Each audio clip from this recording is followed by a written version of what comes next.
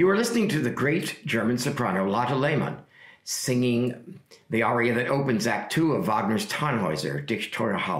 This recording was made uh, for the Odeon Company uh, in the early 1930s and uh, is part of a group of about 120 sides that Lehmann recorded for the Odeon Company using the electrical recording process.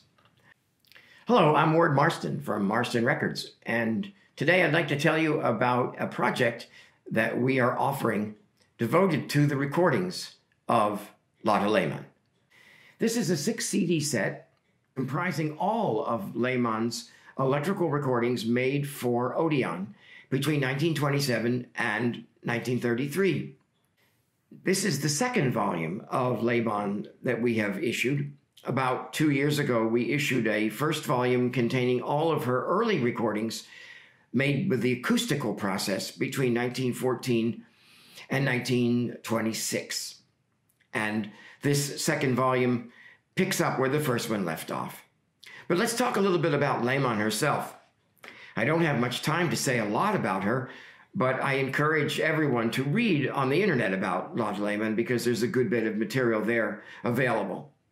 Lehmann was born in Germany in 1888 and by 1910, she was already singing in opera at the Hamburg Opera. And at first was given small parts, but very quickly graduated to major roles and was especially no- noted for her portrayal of Elsa in Wagner's Lohengrin.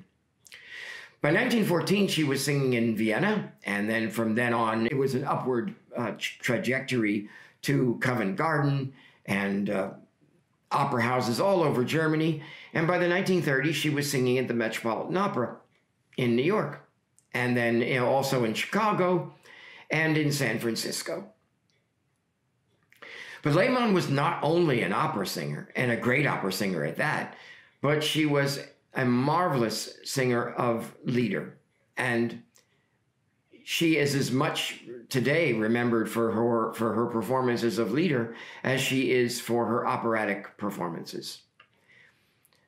Lehmann's career actually spanned both types of music because by, 19, by the uh, 19 teens, uh, she was already singing concerts of lieder as well as operatic uh, performances.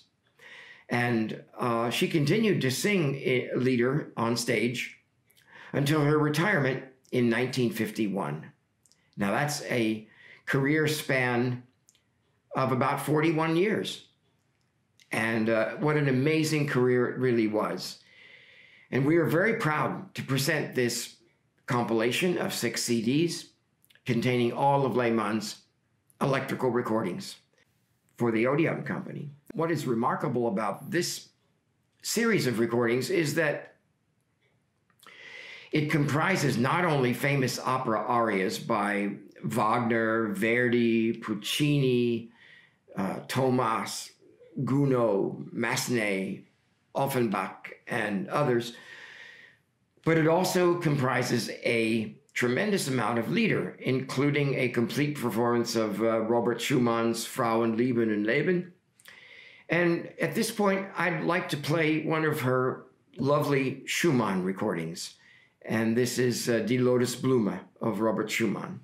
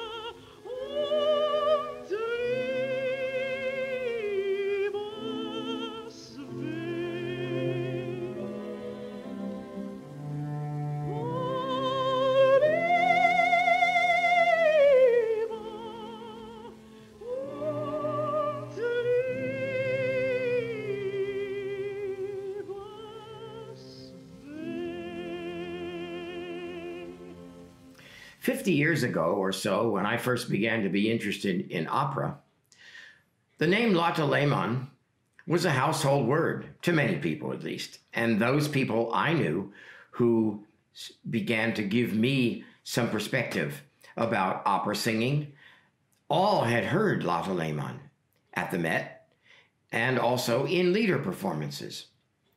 But they had heard her only in Wagnerian and Strauss roles such as Sieglinde in Die Walküre and the Marschallin in Strauss's Der Rosenkavalier. But Lotte Lehmann's operatic career, especially during the early days, uh, comprised many, many other roles.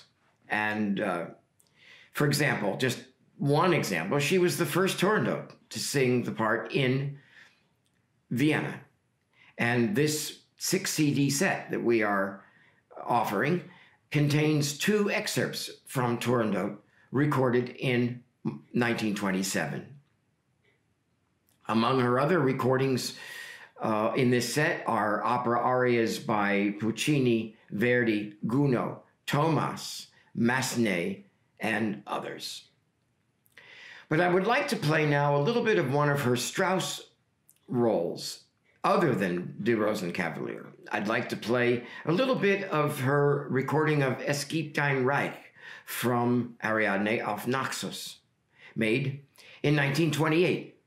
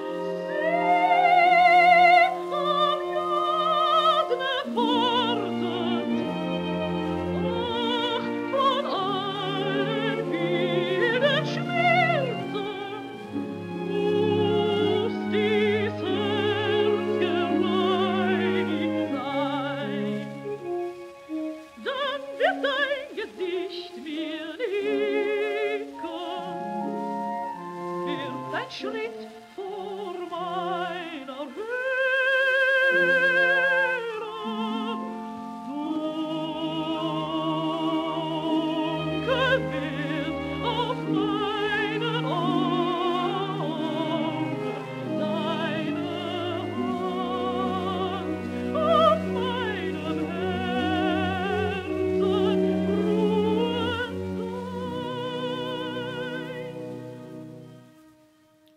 Lotte Lehmann maintained a close friendship with Richard Strauss.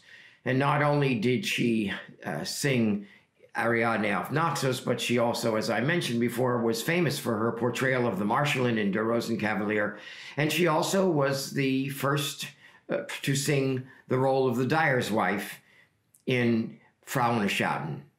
Not only does this series of recordings contain opera arias, but a large selection of lieder, as I mentioned before, and not only that, but selections from operetta, popular music of the day, and even some chorales and hymns uh, that are accompanied by organ. I'd like to conclude this little segment with Lehmann's own personal favorite recording from this Odeon period.